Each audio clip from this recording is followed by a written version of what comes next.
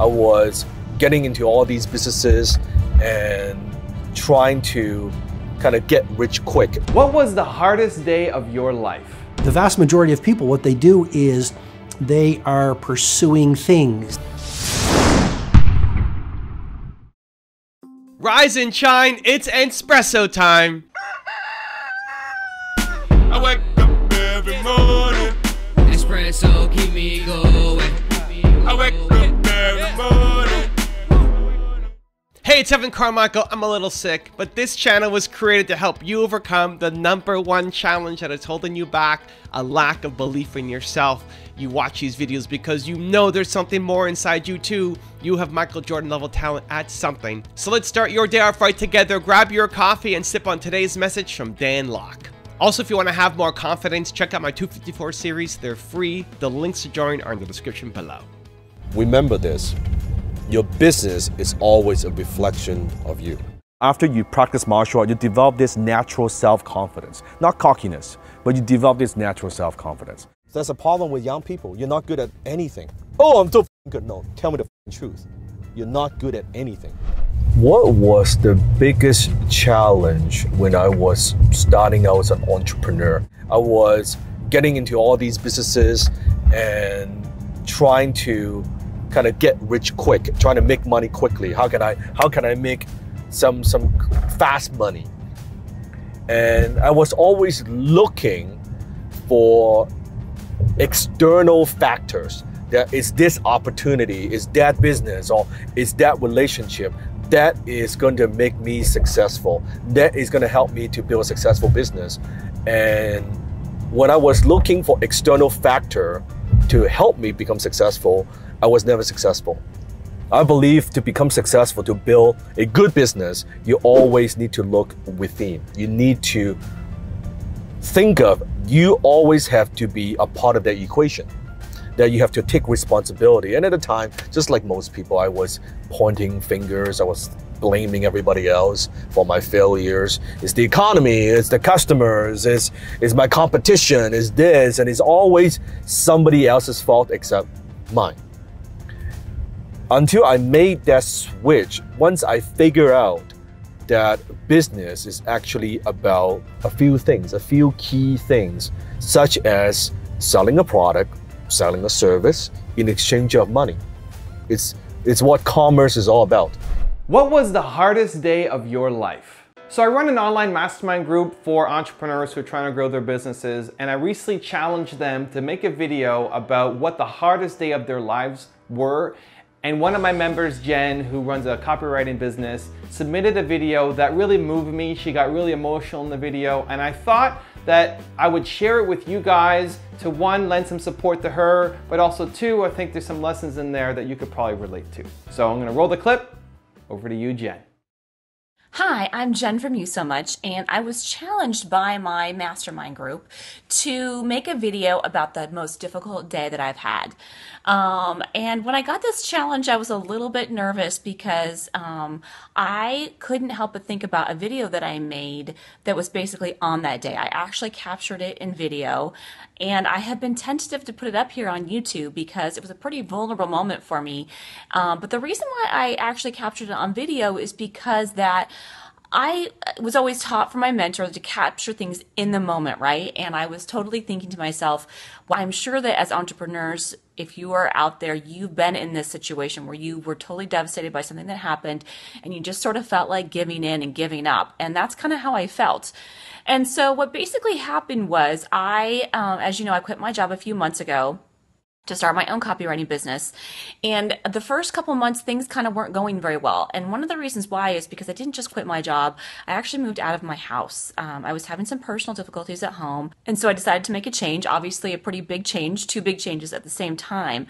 And so it was, I didn't anticipate how difficult it would be to manage, um, you know, the emotional difficulties that was going on with me personally, along with starting a new business. Obviously, I didn't really anticipate what that was going to be like. And on top of that, I sort of was was trying to do it all on my own, that was probably one of the biggest mistakes that I made was, you know, besides leaning on a few very close friends of mine, I really sort of was like, I can do this. I can do it without asking for help or even, I hardly even hardly told friends what was going on with me. And um, that's probably the one thing that I learned the most was to reach out to other people and get support and collaborate with other people to help make success happen. I sort of decided consciously to make a big change and to start doing more things for myself with other people and ask for help. And so I had set up a meeting that was going to really help me out. And I was really ready for this meeting. I was super excited to um, you know, make some big changes and really step up. And so I prepared. I prepared for this meeting, and for various reasons, the meeting just completely fell apart. And I was just devastated. I was completely devastated. And the culmination of things that had gone wrong and me feeling isolated and alone, I was just really hoping this one meeting was just going to completely help my business, which is, uh, you know, you know, unrealistic as well. But it was just, I was just so upset because it was kind of a symbol of a lot of things that had gone wrong for me over the past couple months. So here it is is uh, that moment that I captured in video, and um, maybe you can relate with that moment yourself. I hate it when things go wrong, like everything goes wrong. and you did everything to prepare for it, you know? You're all excited about something, and then it goes wrong, and it sucks. Anyway, I just thought I'd capture the moment because I know how hard it is when you are an entrepreneur and you're just trying to do it all on your own and you want everything to go right and you work really hard when you have time set aside for something and it just doesn't happen. And I'm just pissed about it because I was so excited because I want to make some major progress in my business and it like I just know this would have helped. And maybe it's good to just remember that look back and see what I could have done better and let myself feel frustrated because that's all I can do is be frustrated right now and then I can move on and go kick ass. Okay, that's it. So as you can tell, uh, I was pretty upset, and um, but at the end, I just like I knew I wasn't just going to give in.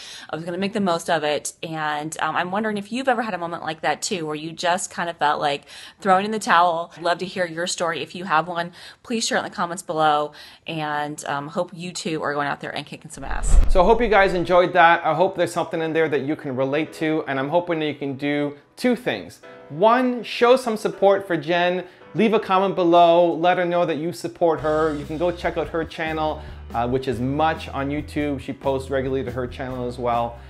And two, I'd love to know what the hardest day of your life was if you wanna leave it in the comments below because I think that other entrepreneurs who are watching and see that comment, that could help inspire them to keep going because nobody talks about how hard it is as an entrepreneur uh, we only talk about all the good things. You see it in the magazines and the articles about people making millions of dollars. Nobody talks about how hard it is. So support Jen, leave a comment, subscribe to her channel, and also tell me about the hardest day of your life in the comments below. Thank you guys for watching. Continue to believe, and I'll see you soon. The vast majority of people, what they do is they are pursuing things. They derive their power by what they have in the world. They want they measure success by more money and a larger house and a faster car and more social status. But if you look at the so called great ones, the history makers who have shaped humanity, they really are in an alternate universe or, an, or another orbit. They're really not fueled by the things that most people are chasing. When I look at a Nelson Mandela, for example, what I've realized is through their interior work. You know my four interior empires mindset, heart set, health set, and soul set. And so, through his interior work to build his interior, internal character, Nelson Mandela got to a level of maturity that most people just don't get to. Why? Because most people are so outer focused and building exterior lives, and it's not so hip and cool and stylish anymore to build vast and undefeatable interior lives. But he did. And maybe it was a lot of his time through the suffering of 27 years of incarceration. Maybe it was the 18 years that he spent in isolation on Robben Island. The point really is through his personal excavation, through his reflection, through his prayer, through his contemplation for so many years, he built a vast interior reservoir of strength and creativity and true versus fake power that created an inner life of incredible maturity. And so the first point really is do whatever it takes to build a life of such maturity where it's not about your ego, but it's about lifting the world.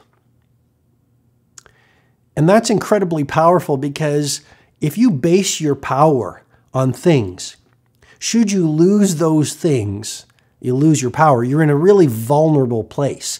But if you derive your power and your self worth and your sense of self from who you are, your moral authority, your sense of creativity, your, your ability to love yourself, your knowledge of the fullness of the gifts that you were born into. If that's where your identity comes from, then your world could fall apart and you still say, stay strong. So, first point work on your maturity level so you get to a place where it's not about me, it's about we. Work on your maturity so you're not deriving your strength in the world from external things, but you're getting it from your internal uh, character or your internal life. Hi, this is Dan Lok. If you're a fan of Evan's work, if you want to know exactly how to model my success, I want to invite you to join me for a special online training. All you have to do is click on the link below. You can join me for absolutely no charge. So click the link below and I will see you in class. If you want to know how to be more productive like Dan Lok, check out the video right there next to me. I think you'll enjoy it.